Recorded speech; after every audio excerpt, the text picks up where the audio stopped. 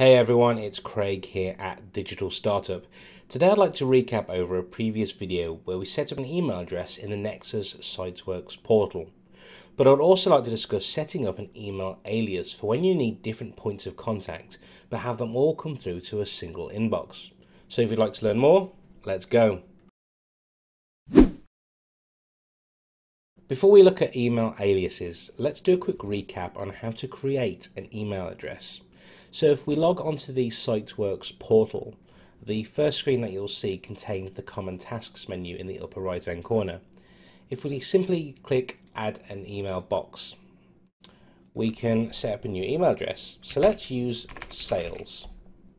So sales at digitalstartuptutorials.com and let's pop the password in. Ignore the last two fields and hit add. So now we've created another inbox, just like our info at inbox, where we can log in and send and receive emails. But how do we set up an email alias? Well, firstly, what is an email alias? An email alias is like a forwarding address. You don't log into the email accounts, but instead you receive emails to your own inbox via the address. So why use an email alias? Well, any email sent to the alias is rerouted to an address of your choice. Your email address may contain your first and last name, but if you change your name, then you can set up an alias for your new or old name. Or perhaps you want to create a separate billing email address, but have it sent through to your main one so that you don't have to monitor the inbox. So let's start by setting up a, an alias. So we go into hosting features, email, then aliases.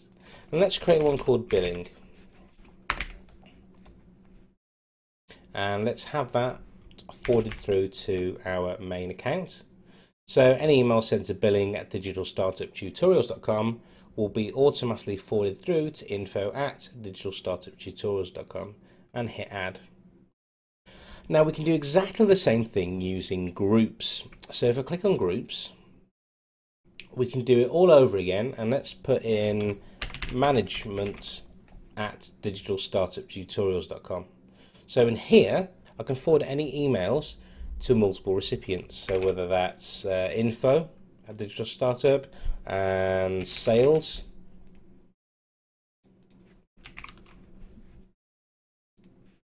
And hit add. There we go. So any email sent to management gets automatically forwarded to both these email addresses. So it's great if you have departments like sales or commercial, for example, uh, where you know that you want to copy everybody in, uh, send it to the group, and everyone will get a copy. So in this video, we did a recap of how to set up an email address using the Nexcess SiteWorks portal. And we also discussed creating an email alias. If you found this video helpful, be sure to hit the like button and I'll see you in the next video.